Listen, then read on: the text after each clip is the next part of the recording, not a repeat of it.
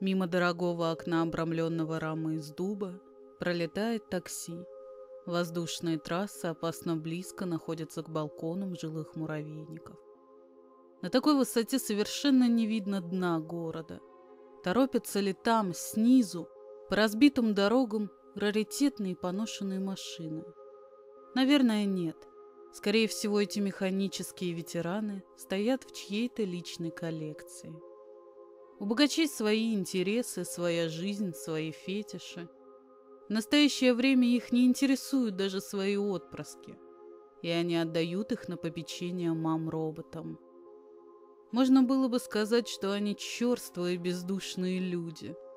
Но чему удивляться, если их самих опекала машина?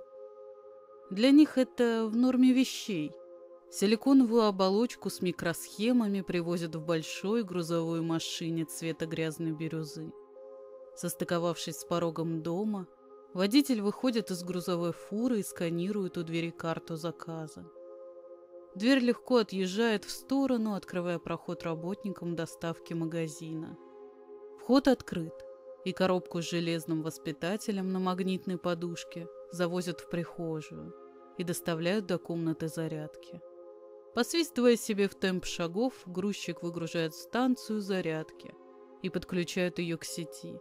Затем вытаскивает товар из упаковки и ставит ее на стационарную стойку – Технический специалист, причмокивая, жует жвачку с ультрастойким вкусом. Достает пластины хранения данных из небольшого кейса и вставляет их в аппаратные порты роботу. Загрузив систему и назначив команды, работники уезжают, не дождавшись загрузки данных, оставляя после себя легкие следы присутствия и пережеванную жвачку у порога. И вакуум снова занял свое оставленное место – когда солнце ушло за горизонт, его тусклый свет за окном заменили неоновые вывески заведений, зазывающие посетителей в свои владения. Рекламные 3D-баннеры пестрили яркими заголовками, а рядом с ним, не уставая, танцевали красивые механические девушки-роботы. От их платьев исходили разноцветные лучи, будто диско-шары из 80-х снова вернулись в моду и сопровождают танцующих ярким светом. Танцовщицы так искусно крутились у шестов, что сложно было сказать, живая ли перед вами девушка или механическая. Они танцуют так каждую ночь, не делая и секундного перерыва, и только в полумраке квартиры у трассы, в маленьком помещении зарядки, мигал блеклый огонек. Зарядив аккумулятор полностью, мигание потухло, и угольная тьма съела подсобное помещение. Спустя некоторое время дверь распахнулась, и вся квартира наполнилась светом и голосами. Будто ожила. Запахи уличных автомобилей перебивались духами от модного парфюмера. Женщина и мужчина холодно общались друг с другом. По ее стуку каблуков можно было понять, куда хозяйка прошла – это была небольшая комната. Положив что-то на кровать, а затем выйдя оттуда, за ее спиной дверь закрылась. Самостоятельно. А стук каблуков продолжал звенеть в апартаментах. Постепенно приближаясь к небольшому подсобному помещению, ей хотелось скорее избавиться от своей ноши, и она спешила осмотреть новое приобретение, не переставая пререкаться со своим супругом. «Итак, я ее включаю», Нажав на кнопку за ушной раковиной, глаза экрана загорелись красным светом. «Эй, посмотри на нее! Разве на обложке глаза были красными?» Но мужчина отмахнулся, со скрипом сел на огромный кожаный диван, положив ногу на ногу, и, включив интерактивное табло, что-то бурчал про себя. «Хм, «Наверное, так и должно быть». Глаза стальной мамы, не отрываясь, смотрели на то, как женщина на основе углерода перелистывала инструкцию по работе с заменой своих материнских обязанностей. «Отсканируй меня!» Из красных глаз засветили тонкие нити лазера. Преобразовавшись в сетку, просветили элегантную женскую фигуру. Луч потух, так же, как и зажегся. После этого понадобилось некоторое время для обработки данных. Железная мать смотрела неподвижными зрачками на женщину. что хотела поскорее уйти из дома. Она то и дело смотрела то на циферблат золотых часов, то на глаза своего приобретения, которые перебивались помехами. Женщина посмотрела на часы и уперлась руками в бок. «Да сколько можно-то? Она что, зависла?» И легко постучала своей хрупкой ладонью по голове заменителя. Ее браслет от близкого соседства с часами приятно звякнул на руке. Процесс обработки остановился, глаза робота засияли ярче. Но они явно испытывали какие-то проблемы, ограничивая функциональную принадлежность робота. «Ну, похоже, все. В общем, твоя задача — исполнять мои обязанности. Объект твоего назначения находится в комнате». Она посмотрела на мужчину. «Давай вставай, нас уже водитель заждался. Если я опоздаю на прием, меня уволят!» Особь мужского пола нехотя встала с дивана и направилась в сторону двери. А женщина взяла леопардовую шубку из настоящего меха. Таких уже и не встретишь. Леопарды вымерли уже много лет назад. Люди вышли вместе из апартаментов, и полотно двери закрылось за ними самостоятельно, что выключило свет и запустило цикл уборки у робота-пылесоса. Маленький помощник резво наворачивал круги в гостиной. Казалось, что эта работа приносит ему радость, и он как ребенок резво наворачивал круги вокруг журнального столика. Но механические железяки не могут испытывать эмоций, и это кажущееся состояние рассыпалось в грусти осознания реальности. Через коридор послышался детский плач, эхом пронесшийся по всем уголкам квартиры. Локаторы стальной матери уловили звонкие звуки, как оказалось из детской комнаты. Выпрямив позвоночные диски, она отправилась к месту тревоги. В полумраке радужки фонари глаз подсвечивали красным светом паркет из настоящего дерева, привезенным огромным трудом и в ограниченном количестве одной компанией из малочисленных зеленых зон на экваторе земного шара – Неспешные шаги приближали жестяную мать к источнику шума, который бесперебойно сообщал о своем беспокойстве. Шаги автоматического помощника казались бесхарактерными, однотонными, негромкими, потому что силиконовая кожа смягчала тяжелый стальной скелет. Ее младший собрат, небольшой круглый пылесос, перебирая своими малюсенькими щеточками, убирал перед собой следы присутствия еще молодой пары. Его путь проходил прямо через красноглазый механизм. Неспешно он приближался к ногам особенной модели. Шум моторчика щетинистого помощника прервал резкий хруст, эхом раздавшийся в просторной гостиной, издав последний звук заевшей пластинки. В квартире у трассы больше не работало сердце-мотор маленького робота. Лишь красные фонари безэмоционально продолжали смотреть в точку своего направления. Ритм ее шагов ни на секунду не замедлился, будто и не заметив препятствия на своем пути. Тяжелые механические движения в искусственно-сумеречной красоте выглядели ужасающе привлекательными, своим шармом привлекая лишь тени предметов вокруг. Шаги остановились, и белая на свету дверь в темноте залилась кроваво-красным цветом. Дверь распахнулась после того, как искусственная мать нажала на датчик открывания двери. Нажала так, что экран с хрустом треснул, пройдя молнией трещины от края до края, открыв дверь для нового члена семьи.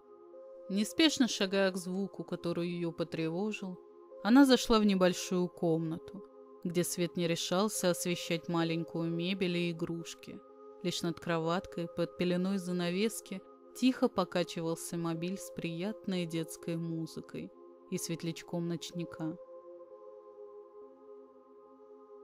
Тишину разрезал детский плач, больше похожий на мяуканье одинокого котенка. Он полностью пропитал стены и потолок. Чувствовалась наполненность комнаты. Конечно, робот не мог почувствовать пространство этого живого помещения. Ее светящаяся радужка глаз перебивалась помехами. Из-за этого все в комнате мигало, словно сломанный светофор на опасном повороте. Шаг за шагом приближаясь к своей цели, цвет глаз сиял все ярче и ярче. Она приблизилась к кроватке у дальней стены комнаты Через белый балдахин были видны крохотные маленькие ножки и ручки. Такие хрупкие, что на любое неаккуратное движение откликнулся бы хруст, как в нестареющей рекламе чипсов. Мальчик или девочка перед ней, машину это мало волновало, от слова совсем. Хотя в программе, созданной для этой модели роботов, свойственно забота и внимание. Человек бы умилялся при виде крохотного малыша. Но не это создание. Она отодвинула завеску рукой, и нежный свет ночника поглотил агрессивный винный цвет светодиодных радужек глаз. Ребенок продолжил плакать, ручками пытаясь найти что-то в воздухе, а над ним бездвижно стояла она. Отбрасывая на стену силуэт, превышающий размер обладателя в несколько раз. Зрачки железной матери забегали, будто в системе начался поиск данных которыми снабжали каждую модель этого типа. Младенец не переставал плакать ни на секунду. Любого человека это бы давно вывело из себя. А вот автоматическое создание это нисколько не беспокоило. По ее глазам стало заметно, что поиски закончились, и руки, некогда холодные как лед, стали теплыми. Жидкость по сети тончайших силиконовых трубок, имитирующих вены, разогрелась до состояния человеческого тела. Все выглядело так, будто робот собирается позаботиться о малыше в розовом от светодиодов глаз помощника Боди. Медленно наклонившись, она протянула только что разогретые руки в колыбель к ребенку. Детская мелодия играла фоном, сопровождая движение механических суставов. Пальцы, застывшие в одном положении, не прекращали разогрев. О них уже можно было бы получить ожог, даже на секунду соприкоснувшись с ними. Стоит ли рассказывать, что могло бы произойти с нежной кожей ребенка, лежавшего в колыбели? Младенец захлебывался в слезах, не понимая, что с ним может произойти. Он просто плакал под звук приятной мелодии. Руки приблизились на опасно близкое расстояние. Внезапно остановившись, голова робота начала подергиваться, а глаза перебивались мерцанием кровавого окраса. Колыбельная мелодия составила компанию в этом танце неказистых нарушений в работе железного помощника. Крик ребенка умолк. В проеме двери показались тени на фиолетовом неоновом полу. Женский голос сообщал о присутствии родителей в доме. Свет не включался, только вывески освещали апартаменты хозяев. На первый взгляд все выглядело спокойно. Мать тревожил только открытый проем комнаты, где в полумраке квартиры багряный свет мерцал на стенках детской спальни. Плача не было слышно. Супруги направились в комнату, вывески за панорамным окном освещали дорогу в это маленькое помещение, где звучала успокаивающая мелодия. Осторожно шагая по паркету, ногами они наступали на разбросанные по всему полу частицы сломанного робота-уборщика. Люди дошли до рамы двери и взглянули на колыбель. Над ней возвышалась замершая фигура. Голова медленно сделала поворот на 180 градусов, ярко блеснула красной радужкой глаз, осветив с ужасом смотрящих на нее родителей. В этот момент музыка затухла. На полу в гостиной красный свет отпечатывал движение робота-помощника. Руки, пышащие жаром, схватили за шею и подняли в воздух хрупкий женский силуэт. Разнесся запах горелой кожи. Даже волосы, что случайно падали на пальцы стального монстра, подпаливались, скатываясь в комочки. И в этот момент апартаменты пронзил крик, который тут же поглотила темнота. Брызги чего-то летели в сторону, фонтаном окропляя стены и потолок, смешиваясь со сломанными деталями на полу. Мужчина был следующим. Он недолго боролся с ней. Она схватила его за руки и резко дернула. Они так легко отделились от туловища, как будто бумага разорвалась.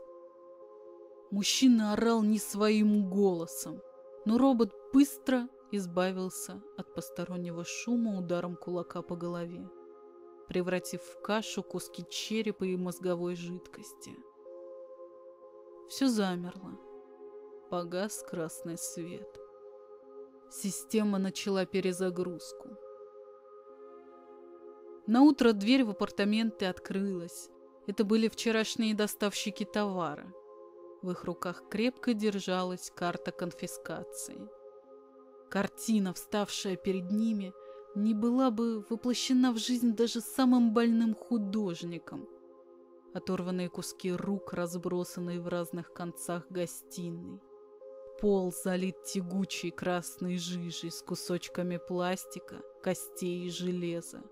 А в эпицентре всего этого хаоса, на кожаном кресле, держа плачущий сверток с кровавыми отпечатками, безмятежно сидела автоматическая мать, покрытая багровой, липкой жидкостью.